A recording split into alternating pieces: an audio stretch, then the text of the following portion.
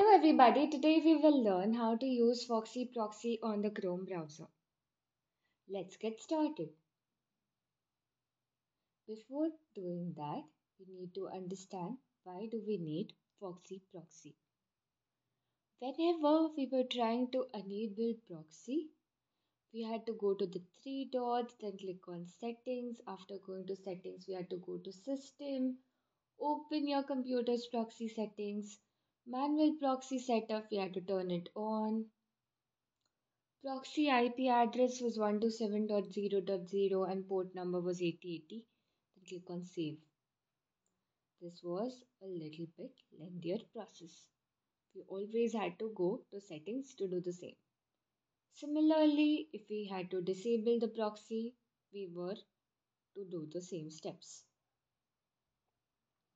Now to make it a little bit easier, we would be using Foxy Proxy.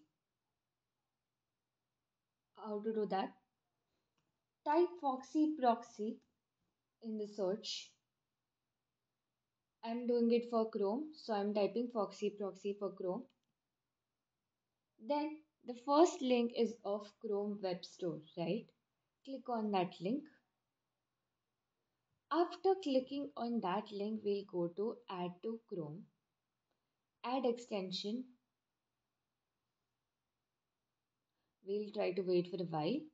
Foxy Proxy has been added to Chrome. Alright. Now I'll pin Foxy Proxy. I click on that extension. Here what we can see is we have no proxy setup at the moment. I'll go to options after going to options, I'll go to proxies. Add. My title would be Burp Suite.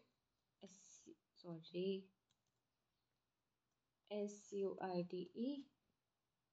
Host name is 127.0.0.1. Port is 8080. Alright. Then click on save. After clicking on save, I'll again go to Foxy Proxy. For now, my option is disabled. I'll go to BurpSuite 8080. Here we can see the blue dot, which means that BurpSuite here is enabled. BurpSuite Proxy. Then I'll go to BurpSuite Community Edition.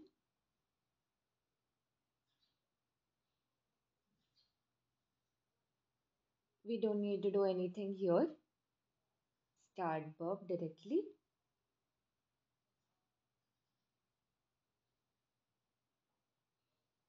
We'll wait for some time.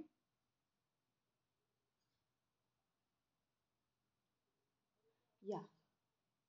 I'll be deleting the task which is visible here then go to proxy what am I going to do now to capture the requests, I'll turn on the intercept. Then I'll go to open browser.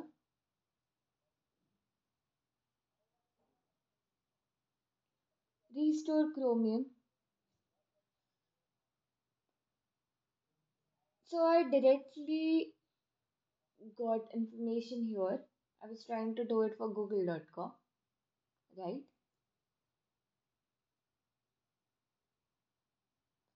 Let's try it again. What we will do, we'll turn off the intercept here. And I'm also going to turn off the Foxy proxy. And then type google.com going to open browser google.com enter. I've successfully reached the google.com page. I hope this is clear.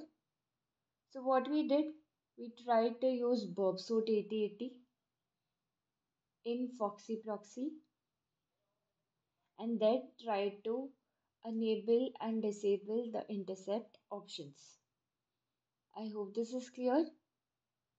See you in the next video. Bye.